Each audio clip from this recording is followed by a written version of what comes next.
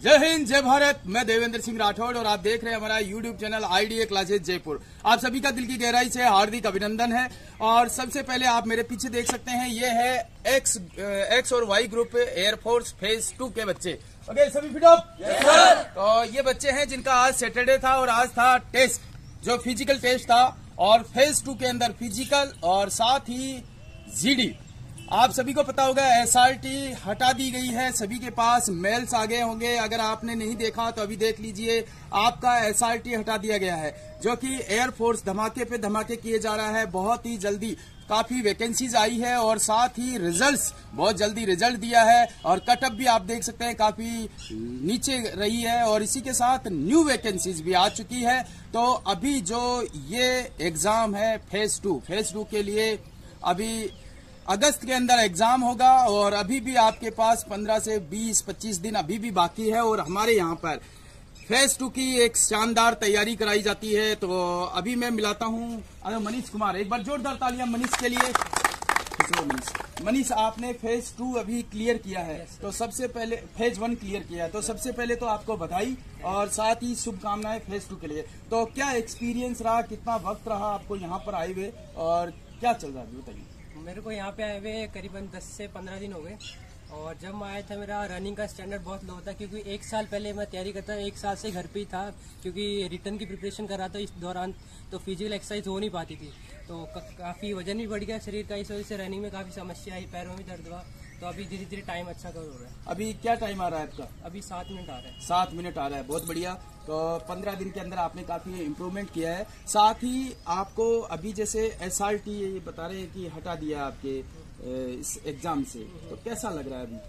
कहीं ना कहीं पॉजिटिव इफ़ेक्ट भी है और कहीं ना नेगेटिव है क्योंकि पॉजिटिव ये है कि हमारा एक बर्डन कम हो गया और दूसरा नेगेटिव है क्योंकि एस आर टी में करीबन करीबन दस से पंद्रह बच्चे आउट हो जाते थे हर बैच से। तो इवन वो आगे तक जाएँगे तो इवन कंपटीशन थोड़ा कहीं ना कहीं बढ़ा कंपटीशन थोड़ा बड़ा है बट काफ़ी बच्चे जिनको की एस की वजह से आउट हो रहे थे काफ़ी बच्चों को डर लग रहा था कि ये एस क्या है किस तरह से तैयारी करें और कहीं ऐसा ना हो कि हम फिर रह जाए। तो एक जो बड़ा मेजर जो एग्ज़ाम था वो हटा दिया गया है। बहुत बढ़िया थैंक यू भानु प्रताप एक बार जोरदार तालियाँ भानु प्रताप के लिए। भानु प्रताप आपने फ़ेज़ वन क्लियर किया इसके लिए। कॉन्ग्रेचुलेशन और ढेर सारी शुभकामनाएँ फ़ेज़ टू के लिए। फ़ेज़ टू के लिए आपको कितना वक्त हो गया यहाँ पर? मेरे को भी लगभग दस एक दिन हो गए दस पंद्रह दिन हो गए। और जब मैं आया था स्टार्टिंग के अंदर तो मेरे साढ़े आठ मिनट भी आती थी सोलह सौ मीटर के अंदर। तो अब मैंने धीरे धीरे कवर किया तो अभी छह पचास तक आ गए गुड एक बार जोरदार तालियाँ इनके लिए। बहुत बढ़िया। कैसे पॉसिबल हुआ? ये इतना जल्दी आपने इतना इम्प्रूवमेंट कैसे कर पाया? ये सर कंसिस्टेंसी रखी है मैंने सर रेगुलर एक्सरसाइज वगैरह करता रहा रेगुलर वार्म अप वगैरह रेगुलर भागना लॉन्ग रनिंग वगैरह की सुबह शाम दोनों टाइम आता था। हमारे कोच सर हमको लेकर लेकर आते थे दस से पंद्रह बच्चे आते थे शाम को।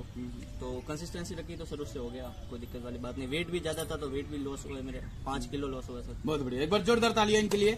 बहुत बढ़िया। तो जो एसआरटी आपसे हटाया गया उसके बारे में क्या कहना चाहोगे आप? एसआरटी सर नेगेटिव और पॉजिटिव इफ़ेक्ट दोनों पड़े लेकिन ज़्यादातर अगर देखा जाए तो पॉजिटिव भी है कहीं ना कहीं क्योंकि हर बैच से लगभग 50 से 70 परसेंट बच्चे बाहर आ जाते हैं उसमें से हम्म। तो ऐसा ठीक है कहीं ना कहीं पॉजिटिव इफ़ेक्ट है सर और नेगेटिव ये है कि सर आगे तक बच्चे जाएँगे और जिसको लगता था एस नॉर्मल है कोई होगा नहीं तो वो सर जीडी के लिए अच्छी प्रिपरेशन करेंगे और हमारे लिए कहीं ना कहीं कॉम्पिटिशन थोड़ा टफ हो गया सर जीडी के लिए। ओके तो अभी जो न्यू वैकेंसीज भी आ रही है ये एयरफोर्स आपको तोहफे पे तोहफे दिए जा रहा है। तो अभी जो न्यू वैकेंसीज आई है उसके बारे में क्या कहना चाहोगे? न्यू वैकेंसी अच्छी निकाली है सर पैंतीस प्लस पोस्टें निकाली है उसके ऊपर और सत्ताईस जुलाई से सत्रह अगस्त तक फॉर्म भरे जाएँगे।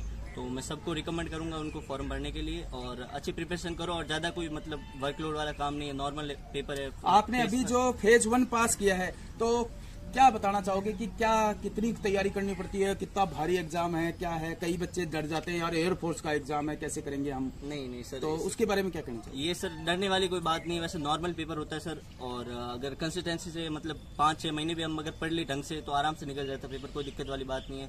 काफ़ी बच्चे सर एक महीने भर के अंदर निकाल देते हैं और मॉक टेस्ट अगर सर लगाना ज़रूरी है ये मैं सबको रिकमेंड करूँगा sir daily mock test thank you और इसी के साथ दीपा चौधरी, जोरदार तालियाँ एक बार दीपा चौधरी के लिए। दीपा, आपने फ़ेज़ वन क्लियर किया है इसके लिए कॉन्ग्रेचुलेशन और ढेर सारी शुभकामनाएँ आपको फ़ेज़ टू के लिए। फ़ेज़ टू जो आपका है, उसके अंदर एसआरटी को हटा दिया गया है तो उसके बारे में क्या कहना चाहोगे? सर एसआरटी मतलब मेरा मानना ये है कि जो ज़्यादा रिटर्न में फोकस करते हैं ना, उन, वो कम बोल पाते हैं और जो बोलते ज़्यादा हैं, वो मतलब ऐसे कम होते हैं एस में, उनका ज़्यादा लो लेवल होता है।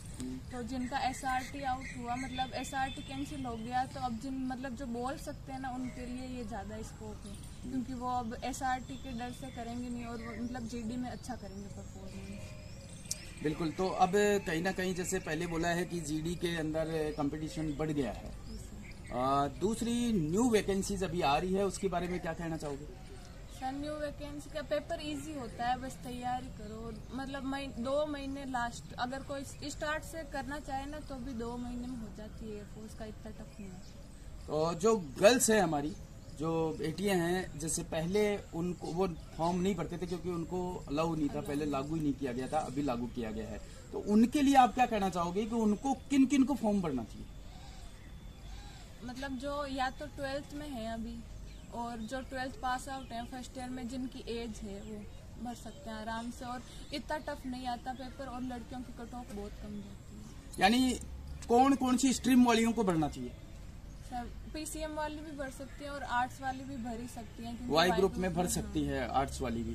तो जो भी हमारी बेटियाँ जो देख रही है वीडियो को उन सभी से मैं कहना चाहूँगा कि जो भी क्योंकि जो आर्मी में जीडी है जो सेना पुलिस है उसके अंदर भी 85 परसेंटेज वाले ही करते हैं। मतलब उन सबको तो भरी देना चाहिए।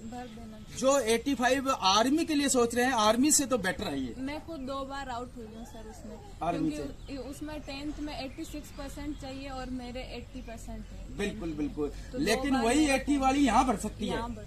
तो आपको ज़रूर भरना चाहिए। जो भी आर्मी के लिए तैयारियाँ कर रही है जो सेना पुलिस की तैयारी कर रही है मिलिट्री पुलिस की तैयारियाँ कर रही है उन सबको ये फॉर्म भरना चाहिए। अभी फॉर्म चालू होने वाले हैं। 27 27 जुलाई से चालू होने वाले हैं तो 27 जुलाई से जो भी बच्चे देख रहे हैं गर्ल्स एंड बॉयज़ सभी इसका फॉर्म भरिए और तैयारी कीजिए। हमारे यहाँ बैच ऑलरेडी स्टार्ट है तो आप यहाँ जाकर के तैयारी आकर तैयारी कर सकते हैं। साथ ही हमारे यहाँ फ़ेज़ टू और फ़ेज़ वन दोनों की तैयारियाँ होती है तो आप एक बेहतर शानदार तैयारी कर सकते हैं और एक सफलता हासिल कर ले, कर सकते हैं। तो मिलते हैं नेक्स्ट वीडियो में, तब तक के लिए जय Hind, goodbye, take care.